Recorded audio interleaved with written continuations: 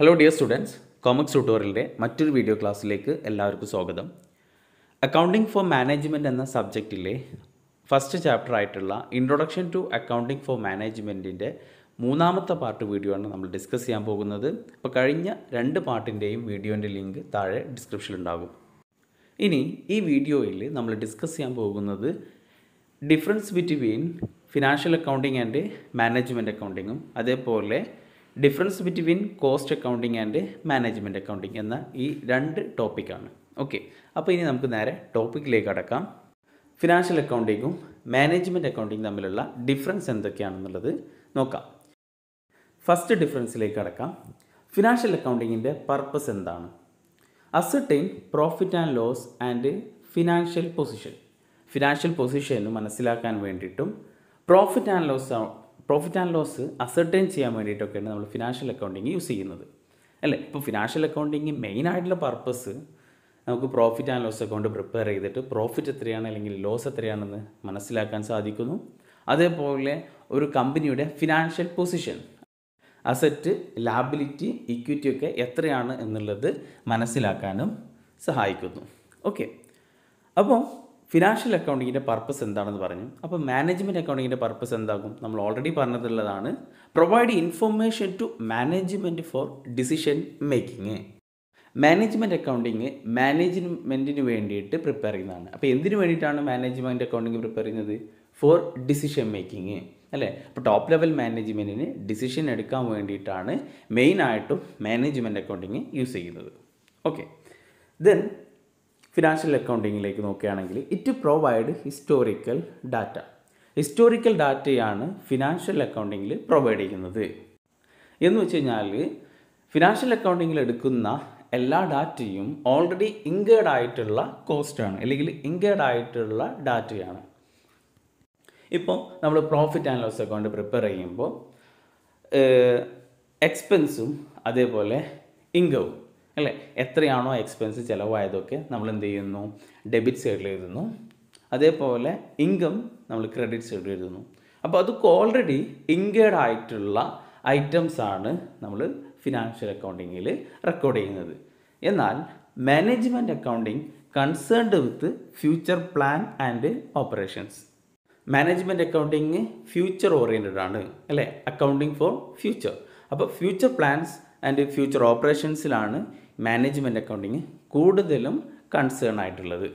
Okay the next point financial accounting is compulsory financial accounting എന്താണ്? കമ്പൽസറിയാണ് എല്ലാ കമ്പനികളും എല്ലാ ബിസിനസ് കൺസേണും ഈ ഫിനാൻഷ്യൽ സ്റ്റേറ്റ്മെന്റ് പ്രിപ്പയർ ചെയ്യണം അല്ലേ? പ്രോഫിറ്റ് ആൻഡ് ലോസ് അക്കൗണ്ടും ബാലൻസ് ഷീറ്റും ഒക്കെ എല്ലാ കമ്പനികളും പ്രിപ്പയർ ചെയ്യണം. സോ ഈ ഫിനാൻഷ്യൽ സ്റ്റേറ്റ്മെന്റ് പ്രിപ്പയർ ചെയ്യുന്നത് ഏതിലൂടെയാണ്?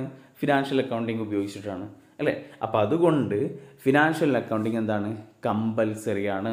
എല്ലാ ബിസിനസ് കൺസേണിനെ സംബന്ധിച്ചിടത്തോളം നിർബന്ധമായിട്ടും പ്രിപ്പയർ ചെയ്യേണ്ടതാണ് ഫിനാൻഷ്യൽ സ്റ്റേറ്റ്മെന്റ് എന്നാൽ മാനേജ്മെന്റ് അക്കൗണ്ടിങ് ഈസ് ഓപ്ഷണൽ ഓപ്ഷണലാണ് വേണമെന്നുണ്ടെങ്കിൽ ഒരു കമ്പനിക്ക് അത് അഡോപ്റ്റ് ചെയ്യാം. ഇപ്പോൾ മാനേജ്മെന്റ് അക്കൗണ്ടിങ് സാധാരണ കൂടുതലും ബിഗ് കമ്പനികളാണ് ഈ മാനേജ്മെന്റ് അക്കൗണ്ടിങ് ഫോളോ ചെയ്യുന്നത്. മാനേജ്മെന്റ് അക്കൗണ്ടിങ് ഒരു ബിസിനസ് കൺസേണിനെ സംബന്ധിച്ചിടത്തോളം ഓപ്ഷണലാണ് വേണമെന്നുണ്ടെങ്കിൽ അവർക്ക് ഫോളോ ചെയ്യാം. Then next point financial accounting based on GAAP and conventions നമ്മൾ ഈ പ്രോഫിറ്റ് ആൻഡ് ലോസ് അക്കൗണ്ടും ബാലൻസ് ഷീറ്റും ഒക്കെ പ്രിപ്പയർ ചെയ്യുമ്പോൾ ഏത് പ്രകാരമാണ് പ്രിപ്പയർ ചെയ്യുന്നത്? അക്കൗണ്ടിങ് സ്റ്റാൻഡേർഡ്സ് പ്രകാരമാണ് അല്ലേ? എന്താണോ അക്കൗണ്ടിങ് സ്റ്റാൻഡേർഡ്സിൽ പറഞ്ഞിട്ടുള്ളത്? അക്കൗണ്ടിങ്ങിന്റെ റൂൾസ് അതൊക്കെ ഫോളോ ചെയ്തിട്ടാണ് നമ്മൾ ഈ ബാലൻസ് ഷീറ്റും പ്രോഫിറ്റ് ആൻഡ് ലോസ് അക്കൗണ്ടൊക്കെ പ്രിപ്പയർ ചെയ്യുന്നത്. അപ്പോൾ അതുകൊണ്ട് അക്കൗണ്ടിങ് സ്റ്റാൻഡേർഡ്സിനെ ഡിപ്പെൻഡ് ചെയ്തിട്ടാണ് ഫിനാൻഷ്യൽ അക്കൗണ്ടിങ് പ്രിപ്പയർ ചെയ്യുന്നത്. Then management accounting not a based on rigid principle അങ്ങനെ ഒരു റിജിഡ് ആയിട്ടുള്ള പ്രിൻസിപ്പിൾസ് അല്ലെങ്കിൽ ഒരു അക്കൗണ്ടിങ് സ്റ്റാൻഡേർഡ്സ് ഒന്നും മാനേജ്മെന്റ് അക്കൗണ്ടിങ്ങിനില്ല അത് മാനേജ്മെന്റിന്റെ രീതിക്കനുസരിച്ചിട്ട് ടൂൾസും ടെക്നിക്സും ഒക്കെ ഉപയോഗിച്ചിട്ട് എന്ത് ചെയ്യാം? ഡിസിഷൻ എടുക്കാം.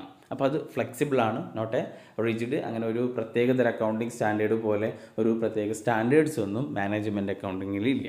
Okay then next limited സ്കോപ്പാണ് financial accounting financial accounting limited സ്കോപ്പാണെന്ന് പറയാൻ കാരണം ഫിനാൻഷ്യൽ അക്കൗണ്ടിങ്ങിന് ഒരു അക്കൗണ്ടിങ് സ്റ്റാൻഡേർഡ്സ് ഉണ്ട് ഒരു മെത്തേഡ്സ് ഉണ്ട് റൂൾസ് ഇന്ന രീതിയിൽ ആണ് ഫിനാൻഷ്യൽ അക്കൗണ്ടിങ് പ്രിപ്പയർ ചെയ്യേണ്ടത്. അല്ലെങ്കിൽ ഫിനാൻഷ്യൽ സ്റ്റേറ്റ്മെന്റ് പ്രിപ്പയർ ചെയ്യേണ്ടതിന് ഒരു പ്രത്യേക ഒരു റൂൾ ഉണ്ട്. അതുകൊണ്ട് തന്നെ അതിന്റെ സ്കോപ്പ് ലിമിറ്റഡ് ആണ്. എന്നാൽ മാനേജ്മെന്റ് അക്കൗണ്ടിങ്ങിന് അങ്ങനെ ഒരു റിജിഡ് ആയിട്ടുള്ള ഒരു പ്രിൻസിപ്പിൾസോ ഒരു സ്റ്റാൻഡേർഡ്സോ ഒന്നും ഇല്ല. അതുകൊണ്ട് തന്നെ മാനേജ്മെന്റ് അക്കൗണ്ടിങ്ങിന്റെ സ്കോപ്പ് വൈഡ് സ്കോപ്പാണ് ക്ലിയർ നെക്സ്റ്റ് ഡിഫറൻസ് പറയുന്നത് users are external parties financial അക്കൗണ്ടിങ്ങിന്റെ ex users അത് എക്സ്റ്റേണൽ പാർട്ടീസാണ് ഇപ്പോൾ ഫിനാൻഷ്യൽ സ്റ്റേറ്റ്മെന്റ് നോക്കുകയാണെന്നുണ്ടെങ്കിൽ മെയിനായിട്ടും അത് ആർക്ക് വേണ്ടിയിട്ടാണ് പ്രിപ്പയർ ചെയ്യുന്നത്? അത് മാനേജ്മെന്റിന് വേണ്ടിയിട്ടോ അല്ലെങ്കിൽ ഓണർ ഓണേഴ്സിന് വേണ്ടിയിട്ട്. അല്ലേ? ഷെയർ ഹോൾഡേഴ്സിന് വേണ്ടിയിട്ട് മാത്രമല്ല ഫിനാൻഷ്യൽ സ്റ്റേറ്റ്മെന്റ് പ്രിപ്പയർ ചെയ്യുന്നതിന്റെ ലക്ഷ്യം അതിന്റെ സ്റ്റേക്ക് ആണ്. സ്റ്റേക്ക് ഹോൾഡേഴ്സ് എന്ന് പറയുമ്പോൾ അതിൽ ആരൊക്കെ പെടും? ഓണേഴ്സ് പെടും management investors financial institutions government employee etcetera അല്ലേ? അതുപോലെ സപ്ലയേഴ്സ് കസ്റ്റമേഴ്സ് ഒക്കെ ഇതിൽ പെടും ഈ സ്റ്റേക്ക് ഹോൾഡേഴ്സിൽ പെടും. അതുകൊണ്ട് തന്നെ ഫിനാൻഷ്യൽ അക്കൗണ്ടിങ്ങിന്റെ യൂസേഴ്സ് എന്ന് പറയുമ്പോൾ എക്സ്റ്റേണൽ പാർട്ടീസാണ് എന്നാൽ മാനേജ്മെന്റ് അക്കൗണ്ടിങ്ങിന്റെ യൂസേഴ്സ് എന്ന് പറയുമ്പോൾ ഇന്റേർണൽ പാർട്ടീസാണ് അത് ആർക്ക് വേണ്ടിയിട്ടാണ് മാനേജ്മെന്റ് അക്കൗണ്ടിങ് പ്രിപ്പയർ ചെയ്യുന്നത്? ഫോർ മാനേജ്മെന്റ് അല്ലേ? മാനേജ്മെന്റ് എന്നുള്ളത് ഇന്റേർണൽ പാർട്ടീസ് ആണ്. അപ്പോൾ മാനേജ്മെന്റ് വേണ്ടിയിട്ടാണ് ഈ മാനേജ്മെന്റ് അക്കൗണ്ടിങ് പ്രിപ്പയർ ചെയ്യുന്നത്. അതുകൊണ്ട് തന്നെ മാനേജ്മെന്റ് അക്കൗണ്ടിങ്ങിന്റെ യൂസേഴ്സ് കമ്പനിയുടെ ഉള്ളിലുള്ള ആൾക്കാർക്ക് വേണ്ടിയിട്ടാണ്. Okay next financial accounting prepared for a particular period അല്ലേ? ഫിനാൻഷ്യൽ ഇയറിലാണ് ഒരു ഫിനാൻഷ്യൽ ഇയറിലാണ് നമ്മൾ ഫിനാൻഷ്യൽ അക്കൗണ്ടിങ് പ്രിപ്പയർ ചെയ്യുന്നത്.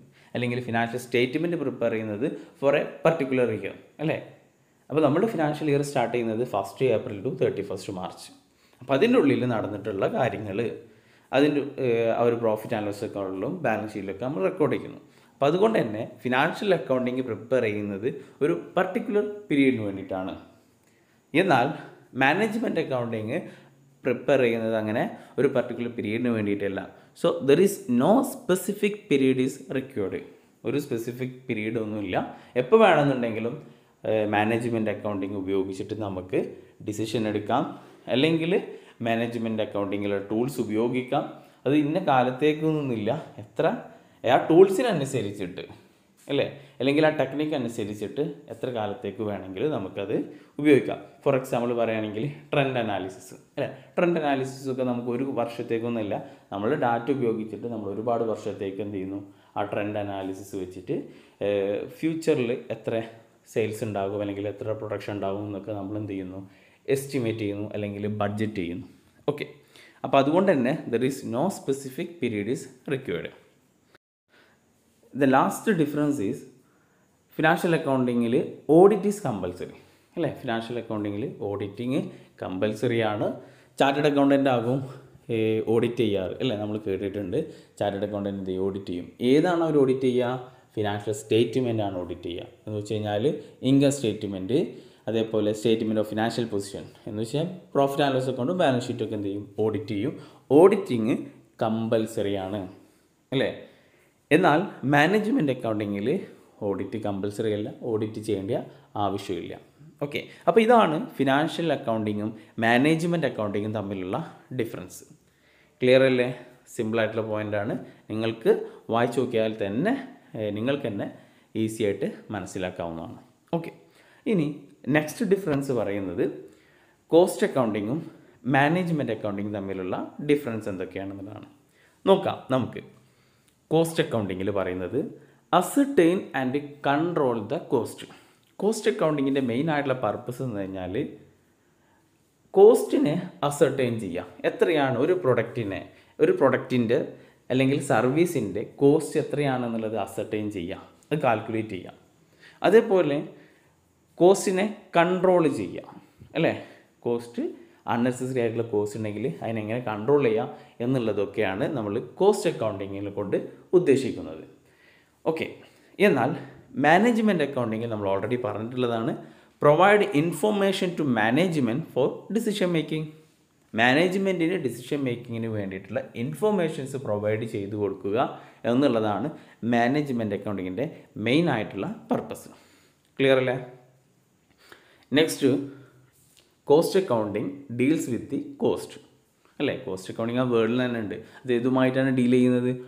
ഓൺലി കോസ്റ്റ് ഒരു പ്രൊഡക്റ്റിന്റെ അല്ലെങ്കിൽ ഒരു സർവീസിന്റെ കോസ്റ്റ് എത്രയാണ്?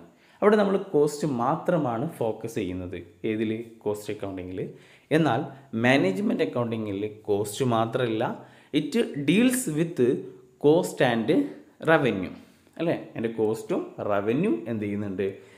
ചെക്ക് ചെയ്യുന്നുണ്ട്. The next cost accounting is based on historical and current data cost accounting എന്നുള്ളത് ഹിസ്റ്റോറിക്കലായിട്ടുള്ള അതേപോലെ കറണ്ട് ഡാറ്റ ഉപയോഗിക്കുന്നുണ്ട്. അല്ലേ? ഹിസ്റ്റോറിക്കൽ ഡാറ്റ എന്ന് പറഞ്ഞു കഴിഞ്ഞാൽ ഓൾറെഡി ഇൻകേർഡ് ആയിട്ടുള്ള ഡാറ്റയാണ് ഹിസ്റ്റോറിക്കൽ ഡാറ്റ കറണ്ട് ഡാറ്റ എന്ന് പറഞ്ഞാൽ ഇറ്റ്സ് റണ്ണിങ് കറന്റ് നടക്കുന്ന കോസ്റ്റും കൂടിയും എന്ത് ചെയ്യുന്നുണ്ട്? അതിൽ ഫോക്കസ് ചെയ്യുന്നുണ്ട്.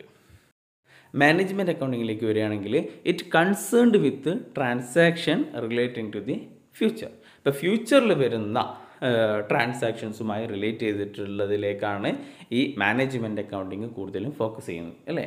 മാനേജ്മെന്റ് അക്കൗണ്ടിങ് എന്നുള്ളത് നമ്മൾ പറഞ്ഞു അക്കൗണ്ടിങ് ഫോർ ഫ്യൂച്ചർ ഓൾറെഡി പറഞ്ഞിട്ടുള്ള പോയിന്റാണ് അല്ലേ? അപ്പോൾ ഫ്യൂച്ചറിസ്റ്റിക് ആണ് അല്ലെങ്കിൽ ഫ്യൂച്ചർ ഓറിയന്റഡ് ആണെന്ന് പറയാം.